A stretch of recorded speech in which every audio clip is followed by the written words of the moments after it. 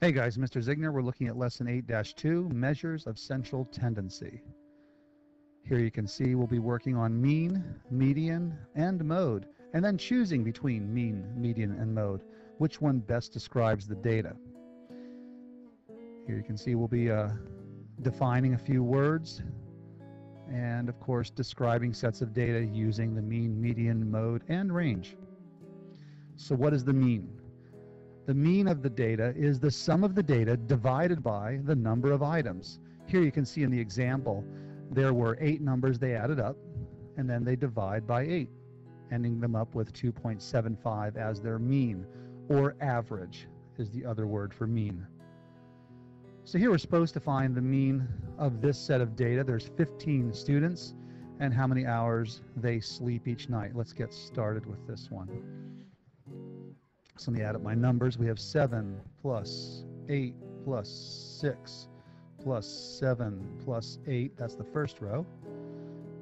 Plus 9 plus 5 plus 6 plus 2 sevens. Now the last row.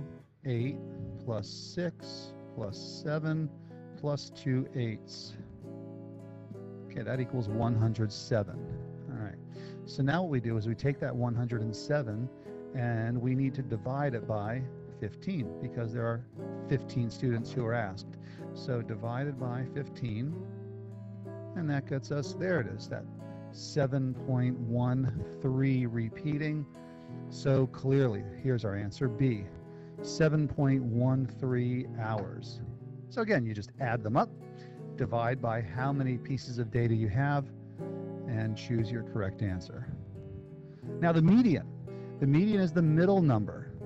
And sometimes it's easy to find the middle number. You might have five high numbers, five low numbers, and then one in the middle. But sometimes you might have, in this case, two numbers in the middle.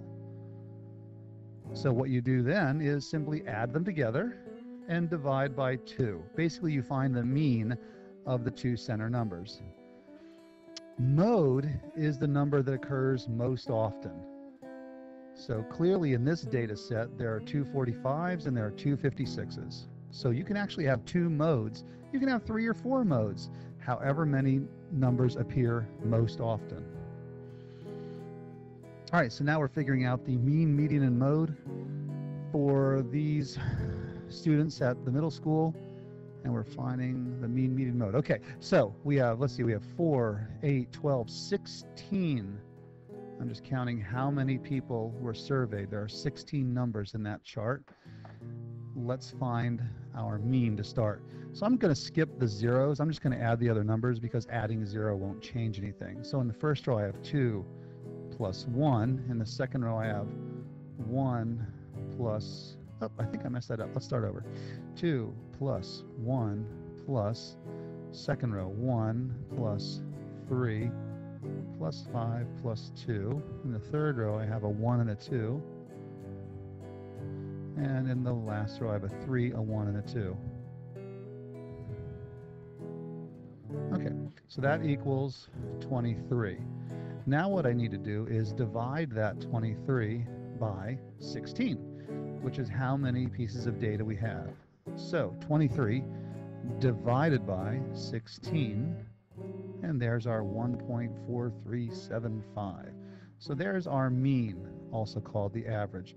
All right, well, what that means is it's definitely not D and it's definitely not A because our mean does round to 1.44. So, so far, either one of these look good because they both have the right mean. All right, so now it's time to figure out the median. Maybe that'll help us figure out the rest of this answer. So let's put these numbers in order. Well, how many zeros do I have? Looks like I have one, two, three, four, five zeros. One, two, three, four, five zeros. How many ones do I have? One, two, three, four. I have four ones. One, two, three, four. How many twos? One, two, three, four. Four twos. And threes, I've got one, two threes. And then I have that 5. Okay, my numbers are now in order. Let's figure out, well, one thing we can figure out quickly, let's skip the median for a second. I'm going to go right to the mode. Clearly, 0 is our mode because it appeared five times. We only have four ones, we only have four twos, we have two threes, and we only have one five. So there we go. The mode is zero. It's it's not five. So it looks like C is going to be our right answer, but let's just verify that the median is one. Now here's a little method I like to use. You're welcome to use it also if you like it. I start crossing off numbers from each end until I find the center. You just have to do that carefully. It's easy to mess it up if you're not being careful. So first I cross off the two outside numbers. Then I work my way inward. Cross off the next two. Again, I'm working my way towards the center. And we're almost there. Oh, there we go. I have two numbers in the middle. They're both ones. So clearly the median is indeed one and that matches our answer choice C. So yep, C is definitely the right answer. All right, let's keep moving. The average weight in pounds of several breeds of dogs is listed. There they are. If the average weight of the golden retriever, 70, is added to the list, which of the statements would be true? Okay, so right now we have one, two, three, four, five, six numbers and we're supposed to add a seventh number. I think I'm going to put these in order first. So I have two 15s. Then what would come next? Looks like I have a 26. So I have my two 15s, then a 26, then a 30, a 45, and a 55. Okay. And now they want me to add on. I'm just going to draw a little line here separating it for now. Add on the 70. All right, so let's start making our comparisons. First, A, the mode would increase if we add the 70. Is that true? Uh, no. Whether or not the 70 is there, the mode is still 15. So nope, it's not A. The mode doesn't change at all if we add a 70. B, the median would decrease. Okay, well, let's figure out the median before we add the 70 and then after we add the 70. So before we add the 70, what would the median be? Well, if I do my crossing off, but you know, I'm not going to cross off the numbers. I'm just going to make a little mark here. So cross that off, cross that off, and these two. And oh, okay, so I have two numbers in the middle, a 26 and a 30. So how do you figure out the median when you have two numbers in the middle? You add them together. So 26 plus 30 is 56. And then we divide that by 2, and half of 56 is 28. So currently my median is 28. Okay, now the question was in B, the me, or rather the answer choice in B was the median would decrease. All right, now let's refigure out the median, this time with the 70. All right, so use a different color here. So I'm gonna start crossing off again. So there's my outside numbers, then my next one, the next two, up, and now looks like I'm left with a 30 in the middle. So now the median is uh, 30. So the median did change. But is B the right answer? Let's see. B says the median would decrease. Uh, no, that's not true. The median increased, so it's not B. Oh, and look at choice C. The median would increase. There it is. It looks like that's our answer. The median did in indeed increase to 30 from 28. And finally, D, the mean would decrease. Is that true? Absolutely not. No. When you add a larger number to a set of data, the mean is going to not decrease, it's going to increase. If you add a small number, your mean would decrease. But when you add a big number like the 70, your mean is only going to increase, not decrease. Now this slide, you're asked in some questions which one the mean, median, or mode describes the data best? Well, the mean is the best one when there's no outliers. The median is the best if there is outliers, but there's no gaps in the middle of the data. The mode is the best one if you have a whole bunch, a lot of identical numbers. And then they just mention what the range is. That describes the spread of the data. All right, so here we go. The line plot shows the number of siblings of each student in a particular classroom. Would the mean, median, or mode best represent the siblings?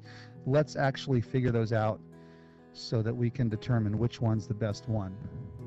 All right, so we have three zeros. That's just zero. I have one, two, three, four, five ones. So that's five. Plus, how many twos do I have? One, two, three, four, five, six, seven.